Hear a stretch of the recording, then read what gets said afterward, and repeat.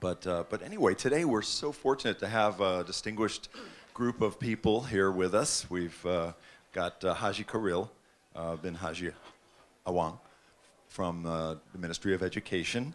Thank you, Mark. Uh,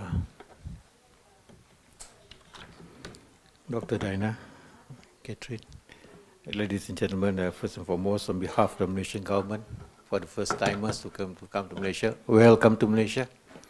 Okay, land of peace, and uh, I'm more feeling uh, secured, uh, like Mark say, uh, being among of lovers of peace. Before I proceed with presentation, how long do I have, Mark? 15 minutes, Okay. plus or minus. I'll take the minus. minus. Okay. uh, before I proceed, uh, this is a preamble uh, for from the newspaper today. Something about Nelson Mandela, uh, 1918-2013. What it says that I hate race discrimination most intensely, and in it and in all its manifestations.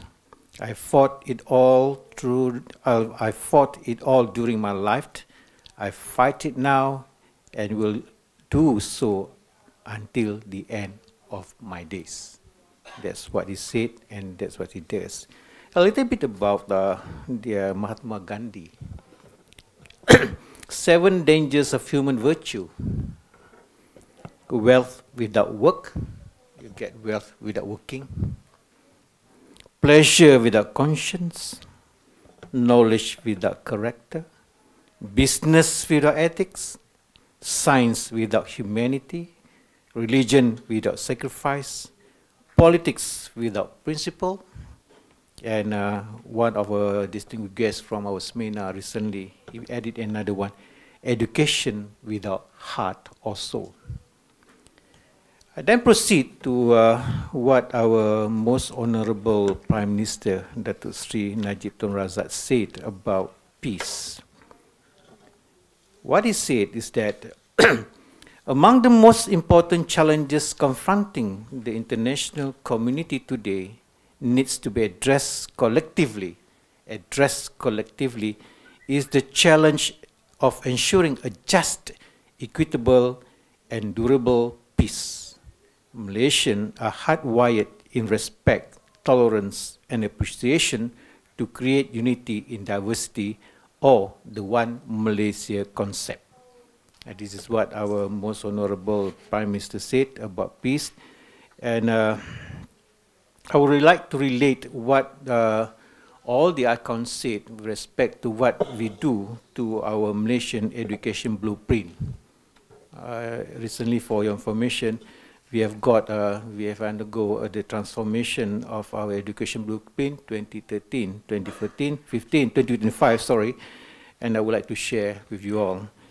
Uh, with regards to the, the topics of today, uh, the topics of today, teachers and principal professional leadership development for character and creativity. creativity.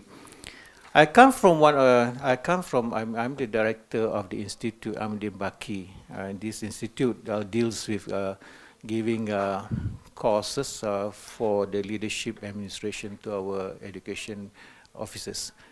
So I started with saying that this blueprint uh, comes from various dialogues and memorandums. If you look at the the slide there from 124 memorandums, 20 roundtables, 16 town halls, 14 states, we go to 14 states all over Malaysia, five student forums, 7,035, 39 recommendations from 11,800 principals and so forth, so forth. What I mean to say, what I'm trying to say is that this blueprint is the one of the public it's it doesn't come up from one particular political figures. It comes up from the public. This is the heart, the ones of the public. So, transforming the Malaysian education system 2013 to 2013 to 2025 out of uh, after vigorous uh, vigorous talk and uh, roundtable and so forth, we've uh, focused on five system aspiration, six student aspiration, 11 shifts and 100 initiatives. Well, I mean to say that uh, all these will be staggered into three waves, wave 1 2013 to 2015, wave 2 2016 to 2020, and wave 3 2021 to 2025.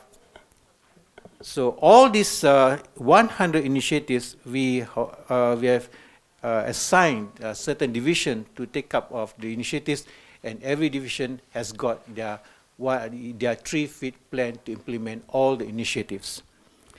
With regards to the uh, system aspiration, we have got five system aspiration, namely access, quality, equity, unity, and efficiency. But I'll be more focused on the equity, and unity with regards to the topics given to me. When we talk about equity and unity, Mark, can you please uh, can you please uh, uh, signal me when you want me to stop, please, Mark? Oh, please. Oh. when we talk about unity, equity and unity, uh, this implies that uh, if there's unity, tolerance, and total acceptance among the different races and religious followers, then this could facilitate the implementation of the community development agenda for the common good, while the absence would lead to chaos. What I mean to say, for your information, we in Malaysia have got multi-ethnic, multi-religion, and as you mark, see uh, Mark testimony that uh, uh, tes uh, testimony just now, he find that the the Malaysian uh, uh, the public there are so very what should what did you say just now, Mark? very friendly. Yes. Yeah. And as I told, too friendly. Okay? and that is good. And you feel that uh, you feel secured when you're out there. Do you feel that? That is the embracement of all, the acceptance of the different, uh, different cultures and religion. That is what we are going now. And uh, from this uh, the next slide uh, is the uh, 11 shifts. In achieving the, uh, our aspirations, uh, we require 11 shifts, uh, namely as, as, as stated there, but I'm going to focus on two. The shift number three, that is develop values-driven Malaysian, as what Mark said just now. We try to develop the values-driven Malaysian, and next one is uh, to the shift five is ensure high performing school leaders in every school. For your information, I believe you agree with me. Whatever you do, whatever we do, any transformation we do, it is of no, what should I say, it's no use if there's nothing happening in the class. If there's no learning in the class, why should I, why I say if there's no learning in the class, then transformation is, is, is, is, is, is, uh, is a failure. With that, we concentrate on two. One is on the teacher, the other one is on the leadership.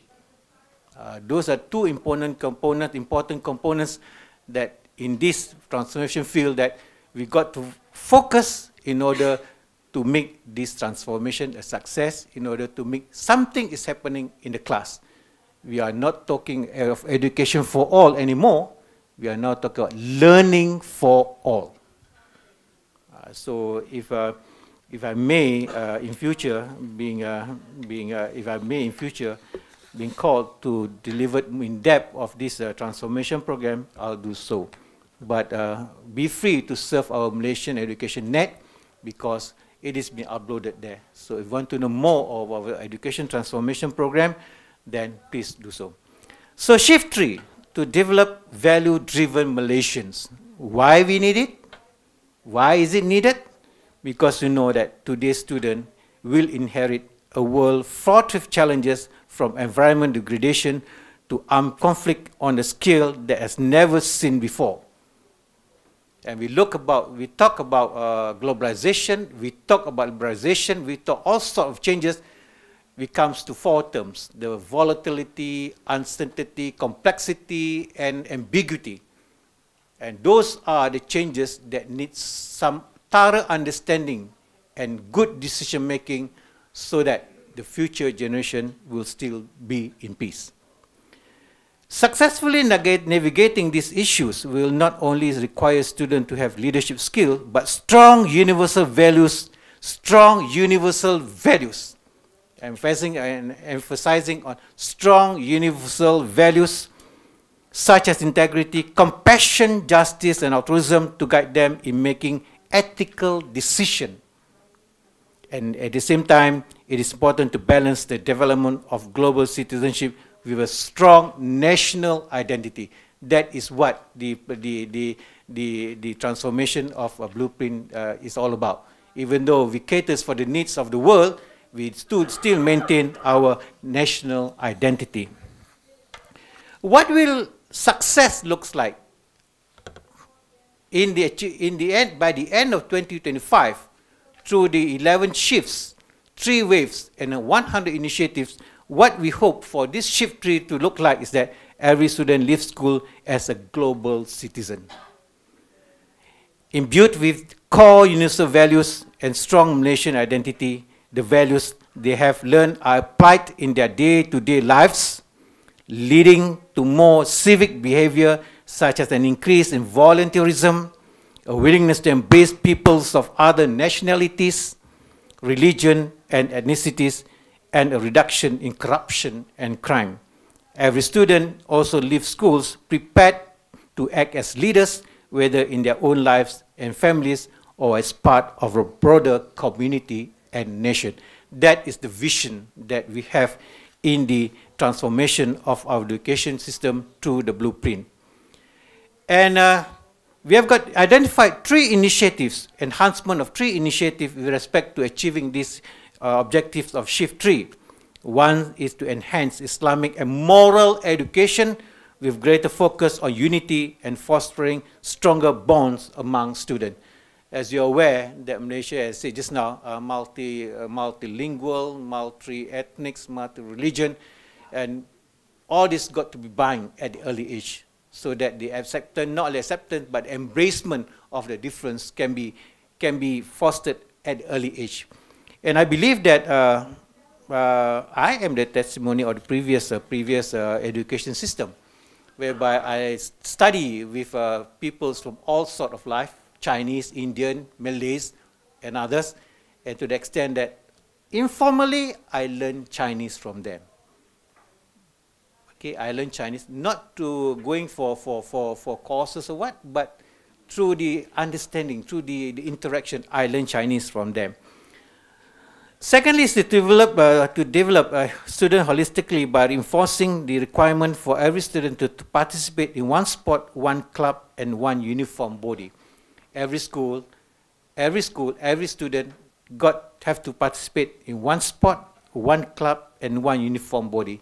So with that, we feel that we are sure that we are sure that they will group together, the different race group together and interact together, and hopefully, inshallah, the uh, the uh, the the uh, the understanding of different races, and it will be much more better. And enhance the third one is to enhance the uh, and scale up RIMUP uh, from 216 to facilitate interaction across school types. RIMUP is rancangan integrasi untuk perpaduan murid. That is the short form of RIMUP meaning that we have got program, and this program, we call all the students from different race and ethnics to be together. Okay?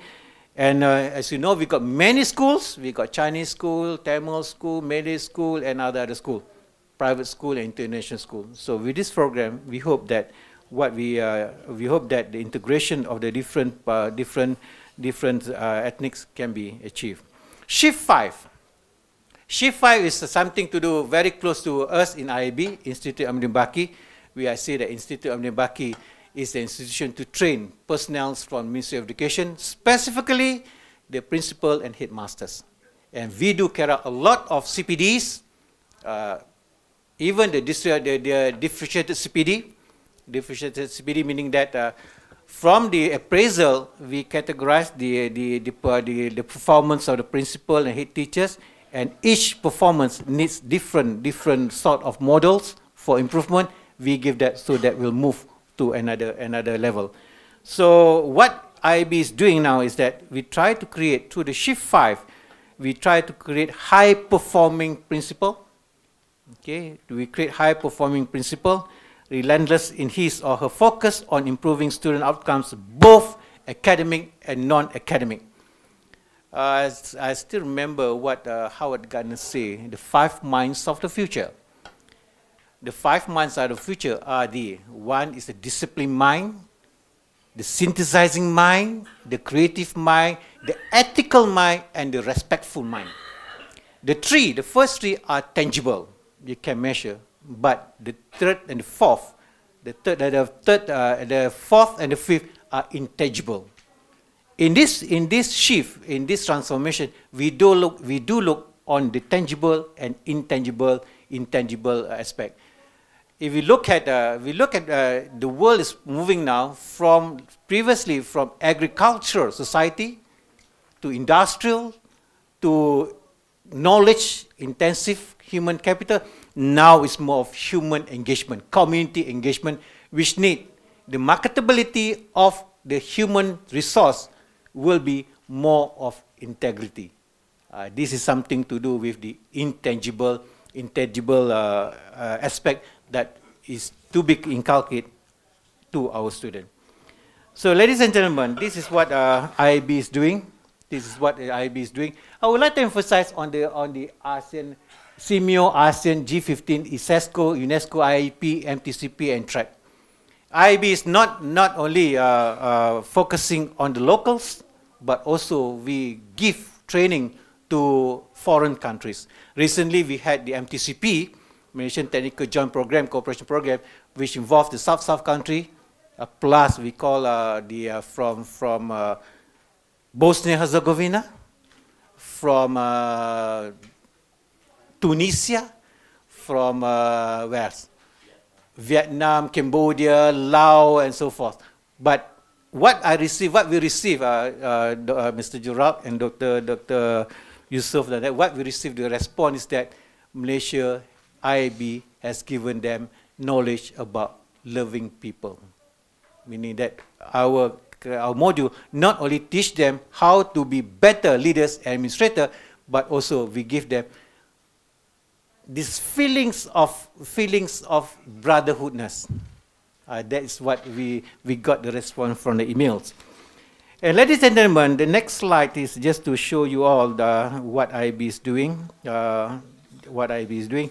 And I feel that I should stop here, giving more time, ample time to, uh, to our, uh, next, uh, next guest. It's just that what I'm trying to do now is that I've explained to you that we in the transformation of education of system do look into the perspective, uh, perspective of global peace. In line with what uh, the most honorable uh, prime minister has already said and in line to the needs of the world. And we pray uh, with this uh, blueprint and the engagement and the proper execution plan execution we do believe that we achieve our objective. Thank you very much